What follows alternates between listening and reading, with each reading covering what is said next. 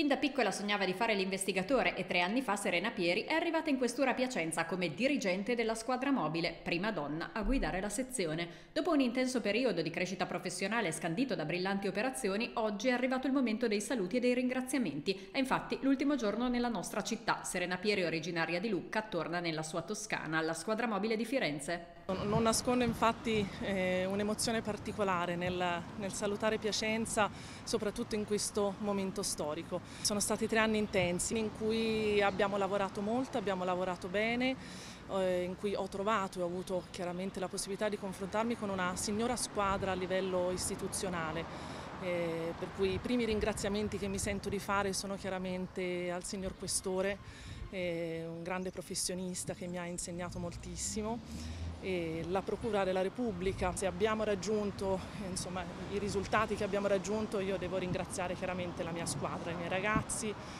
una squadra mobile che si è data da fare, che ha raggiunto dei bei risultati in ogni settore. In questi anni, tra le altre, la squadra mobile è stata impegnata in operazioni antidroga contro l'andrangheta, la tratta delle giovani prostitute nigeriane, servizi a tutela dei minori e poi la notizia che Piacenza aspettava da 23 anni, il ritrovamento del Klimt trafugato dalla Riccioddi un'emozione, devo dire la verità, anche proprio da un punto di vista personale, professionale molto molto particolare. Sono, mi considero onorata e fortunata di aver preso parte a questo pezzetto di storia che comunque riguarda la città di Piacenza e che sono sicura farà anche il, il futuro, sarà importante per il futuro il, il rilancio di, il, della città non appena questa eh, epidemia insomma, ci, ci lascerà. Questo è il ricordo che porterà con sé di Piacenza una città pura di persone per bene, di persone che tengono alla loro città, che ci hanno aiutato molto perché non nascondo che tante anche delle attività che abbiamo fatto sono nate proprio